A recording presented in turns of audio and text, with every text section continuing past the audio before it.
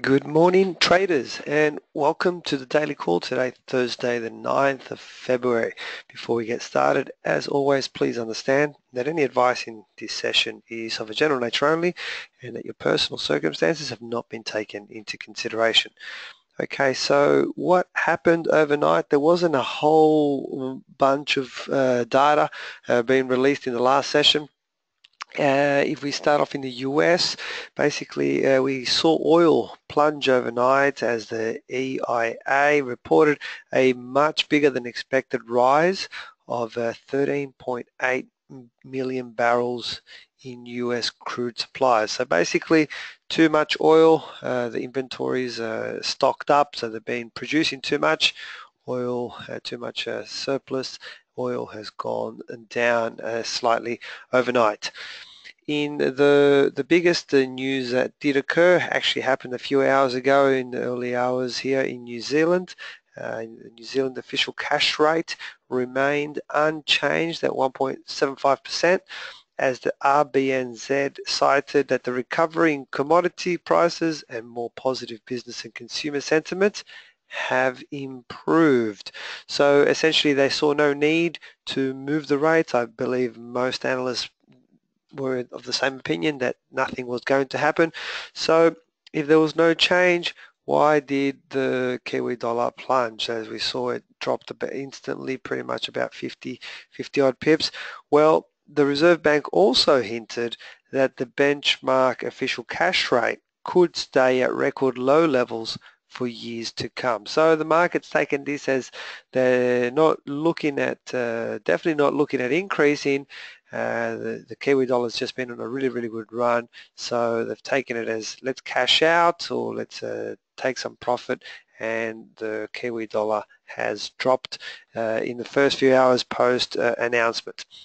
Okay, so it's now time for our chart of the day. Now when I was looking as the brand new candle started just after 9 o'clock, a couple of other options opened up. So if anybody um, follows my price action trend trading, have a look at the Aussie US dollar and have a look at the US CAD. There are trades there as well. I haven't got those ones here, but the one that I have found for us today is, uh, oh, by the way, those two charts that I just mentioned, that's on a daily chart. Okay, have a look at that. You will find two other setups there. Uh, alternatively, this is what I've got for us today. This is the Aussie Yen. It's a four-hour chart, and you can see clearly I've marked out a support region.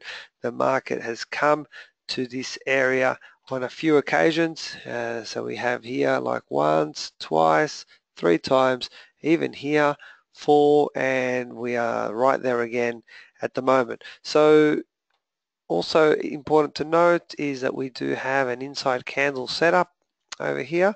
So effectively we are ready to place a pending order in this market and uh, should we break the top of that candle there that's where we would be trading. Now it is important to note on this particular chart uh, it does get the feel that it could start to narrow down as such and become a, a converging uh, flat bottom triangle. So if I extend that line there, which I've just done briefly here, I still would have enough room, the way that I see it, to hit my targets compared to my stops where they would be placed. So that makes me comfortable with that and, uh, and and also it's not necessarily means that we are going to stop here it could continue but nevertheless you just foresee it a little bit just to plan out your trade a little bit better. So there you have it, Aussie Yen on a four hour chart we can place our pending orders and it's ready to go. Okay, so what's happening in the session that is about to unfold we have uh, just in in a couple of hours we have uh, the governor Wheeler will speak let's see if the RBNZ adds any further uh, news to what's happened this morning already regarding their monetary policies and their rates decisions. At uh, 8 o'clock tonight, of course these times are in my local time which is Australian Eastern Standard uh, Daylight Savings Times, otherwise Sydney time.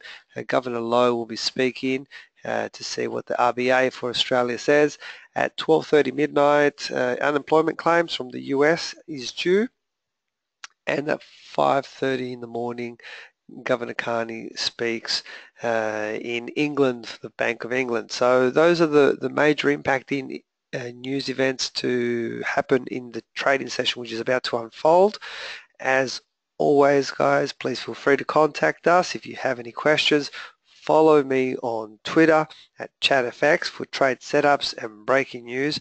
But most importantly, I hope you all have a fantastic trading day and I will see you tomorrow for the daily call. Bye for now.